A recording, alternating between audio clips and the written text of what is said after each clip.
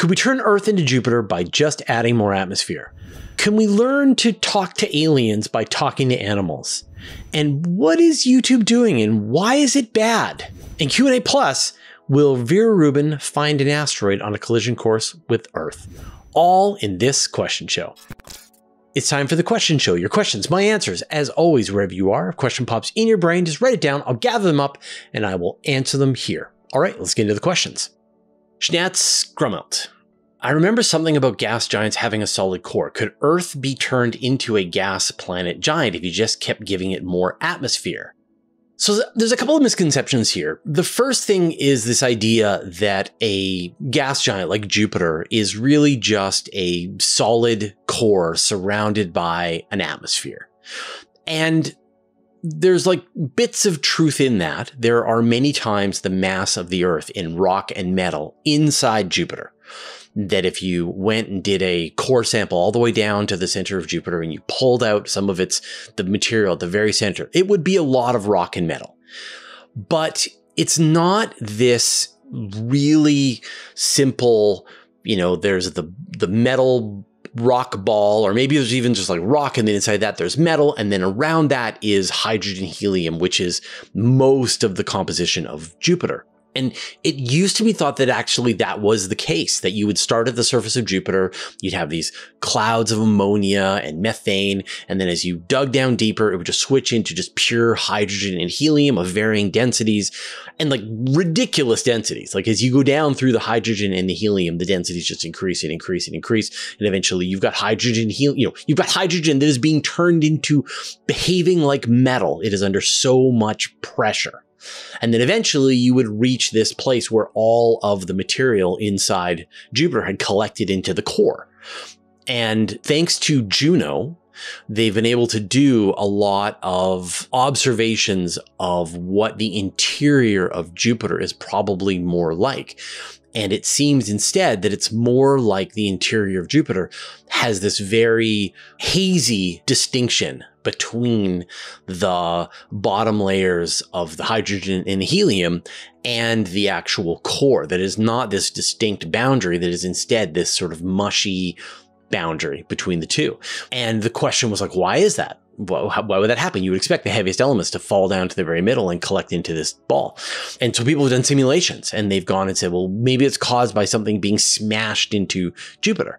And so they ran simulations and found like if you hit Jupiter with another really large object, like hit it with a Neptune, then you're going to get this this sort of mix up of the material at the center of Jupiter, but it's going to settle down very quickly, not take you know billions and billions of years. So in fact, the that there is some kind of ongoing process with Jupiter that is keeping its internal state less uh, separated into specific layers and more into just this kind of general uh, hazy distinction and boundary. Now, with Earth, if you just kept adding atmosphere to Earth, then you would still keep that distinct boundary between the center of the Earth and the outer atmosphere. But that sort of internal structure of Jupiter appears to be the case with all of the large planets. That it's kind of similar at Saturn, it's kind of similar at Uranus, it's kind of similar at Neptune, for what we can tell, um, and is probably the case.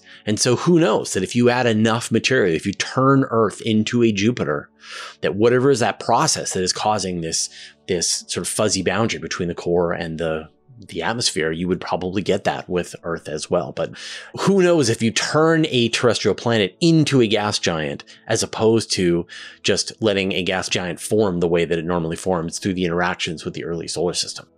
InXs, Fraser, do you think we should invest time in mastering interspecies communication here on Earth first before we try to contact other civilizations?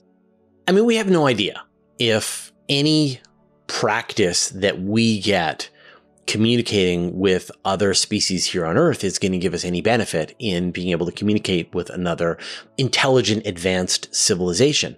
But there are benefits to learning how to communicate with other species here on Earth. You know, like you can sense the intelligence of say if you've ever interacted with a parrot, you know, or a crow, or you've seen the way a monkey or an ape is interacting with its environment. Uh, you can even see it with like a pig. Uh, and of course, people who who work with dolphins and whales are finding that they're surprisingly intelligent. Uh, octopuses are very intelligent in a sort of weird alien way. And people are coming up with different techniques to be able to test what they're, you know, do they pass the mirror test? Are they able to communicate? Are they able to learn sign language? There's a lot of things that people are trying to to do with with other species. And I think that alone provides us with a tremendous amount of information. I think for you know, for the longest time, humanity has assumed that you know, we are the dominant species on this planet and the animals exist for our service.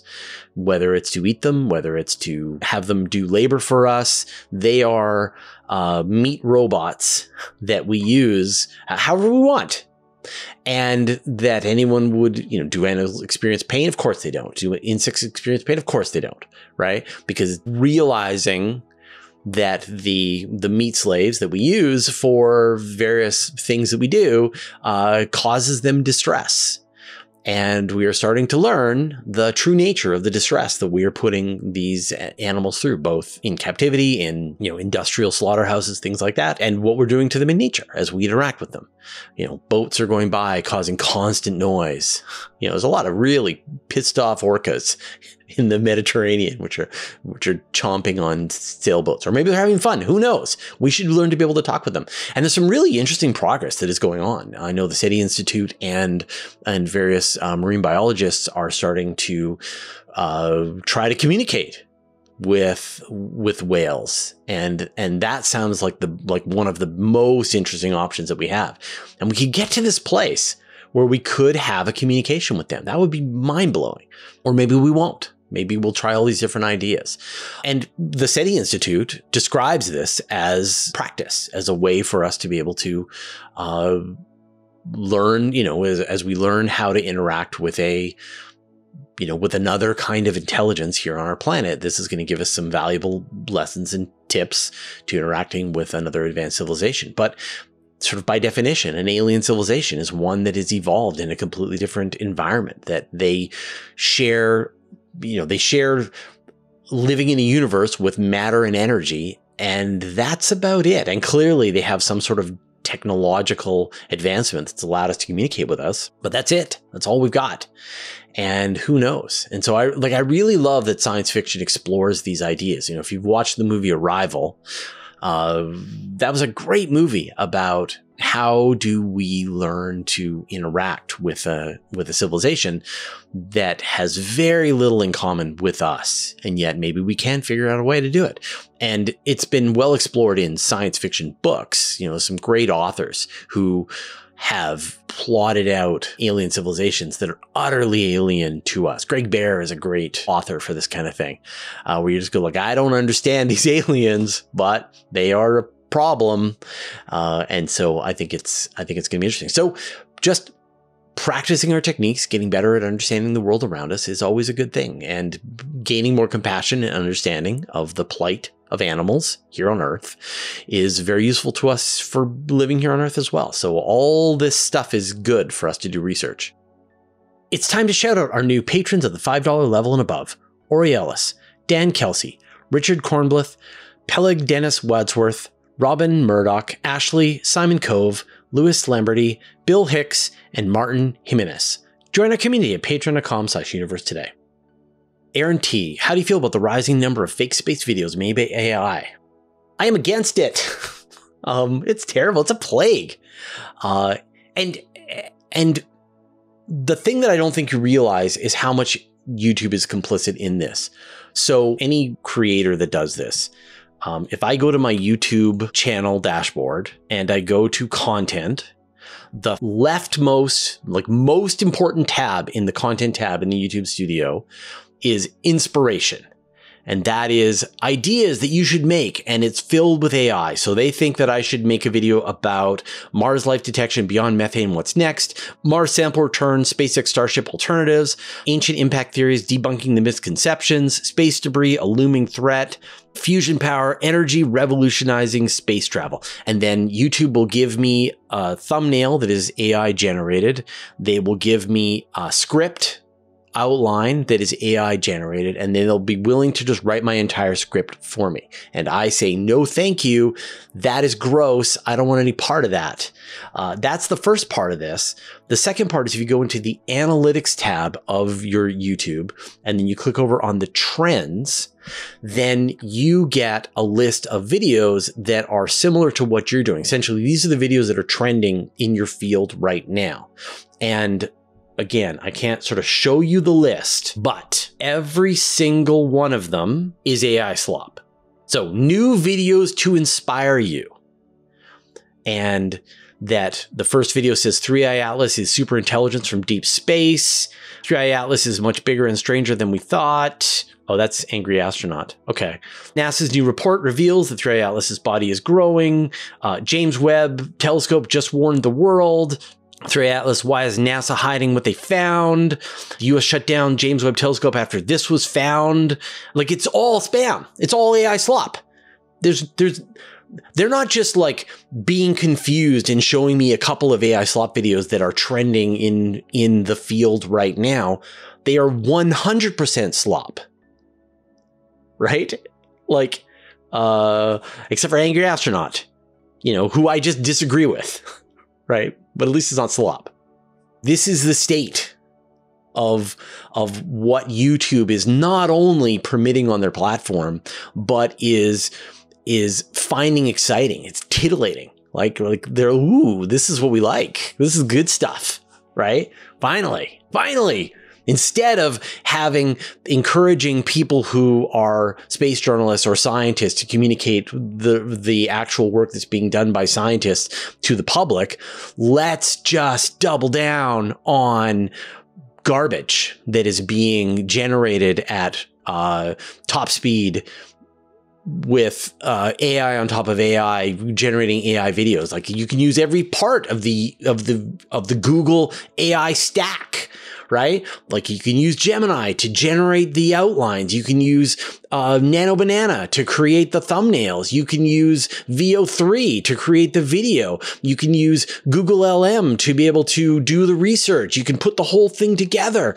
And then you can just start to use Google Gemini to to code up all the connections so the stuff all gets generated. Go into the API, press a button, out pops a video, uploads directly to YouTube. You can do this 10 an hour, 100 an hour, 1000 an hour. Keep going, right?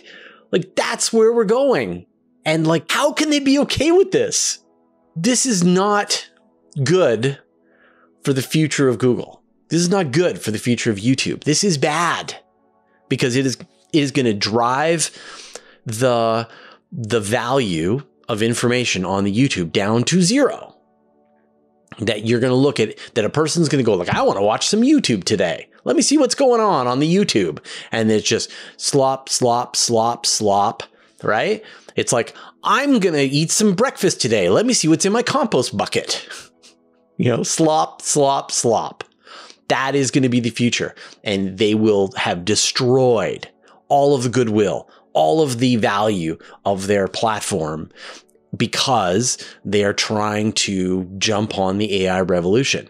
And that, like the Hail Mary, maybe, just maybe, the AI is going to get so good so quickly that they will have dodged a bullet, that YouTube will come out the other side of this, where the AIs are making videos that are genuinely good, well researched, high quality. I don't think that's going to happen at the rate at which they're destroying their brand. And so we will get to this place where one after another, we will abandon YouTube as a place where we go to be entertained and we will we will fragment off into people who just want to watch algorithmic slop because it you know is titillating and they enjoy what's being served at them just despite its you know how much it is uh, connected to reality and how much of it is going to um, be hived off into small communities so like I am, you know, I've talked about this quite a bit that I am doubling down, tripling down on Patreon over there, right? Don't let the algorithm tell you what to watch. Come join me and this amazing community over on Patreon, where I give you additional content, longer videos. Uh, I answer your questions. I interact with with the audience. That I'm going to create this haven, this this place where you guaranteed that you're going to get good human based space reporting on a regular basis that meets all of your needs and you don't have to dip your toes into the algorithmic slop pile. You don't have to search for your breakfast in the compost bin. Uh, you can get nothing but uh, high quality, top grade, human created content for you. So, uh, how do I feel about it? I am against it, is how I feel about it. Did you know that you can watch the same video with no ads and get a bonus question over on Patreon completely for free? We call it Q&A Plus. In this week's bonus question, will Vera Rubin find an asteroid on collision course with Earth? And I'll put a link in the show notes. All right, those are all the questions that we had this episode. Thank you everyone who asked your questions in the YouTube comments, everybody who joined me for the live show, which we record every Monday uh, at 5 p.m. somewhere in the world. Uh, I'll put a link to the next event here on the channel. So just go and click the notification bell so that you'll get a reminder of when we do that next live stream. Now I'm going to chat about how you can get your questions answered guaranteed. But first, I'd like to thank our patrons. Thanks to Abe Kingston, Andrew Gross, Braley Griffin, Brian Bodie, Carolyn, Chuck Hawkins, Commander Bailock, Cy Nelson, David Veribioff, David Gilted, David Matz, Evan Pro, Greg Feely, Hudson Ward, James Clark, Jeremy Madden, Jim Burke, Jordan Young, Josh Schultz, Marcel Smith, Michael Purcell, Monzo, Paul Robach, Ring Kaidu, Richard Williams, Sean Sargent, Stephen Fallon Munley, Team 49, Vlad Chiplin, and Wolfgang Klotz, who support us at the Master of the Universe level, and all our patrons. All your support means the universe to us. So you are watching the question show, and this is the question show that we record every Monday during the live stream, which is two hours long. It's a lot of fun, back and forth. And I try to answer as many questions as I can. I'll usually get through about 40 to 60 questions during the two hour live stream. And as I always say, there's an event here on the channel that you can check that out. But if you want to be part of that elite team of people who get your questions answered by me, uh, we also do a patrons question show once a month on Patreon. And so right now, actually, I've put out the call to the patrons to give me their questions and we're collecting all the questions and we're in the process of recording them. We will probably start to begin recording the episode. Typically lasts about four to five hours long, the full episode, because we just, we answer every single question that we get, no matter what it is. And some of them require research and me and my producer, Anton, we just get through all of them. So uh, if you want to kind of take your question answering to the next level, and I promise you, they're really cool questions, uh, come to patreon.com slash universe today. Sign up as a patron at any level. That'll give you access to the entire back catalog of all of the patrons' question shows. And you can then ask your question and it is guaranteed. You can also do the meeting with me. There's a lot of other cool benefits that you get by joining our Patreon. So patreon.com slash universe today. And of course, you're supporting an independent space journalism agency. And, uh, you know, it's great. We have no ads on the website, no ads in the newsletter, no ads in the podcast, just funded by the patrons. And I'm able to pay the salaries of everybody who works on our team. So uh, this is how we do it. And we try to give you as many benefits as we can. But really, you're supporting journalism. All right. We'll see you next time.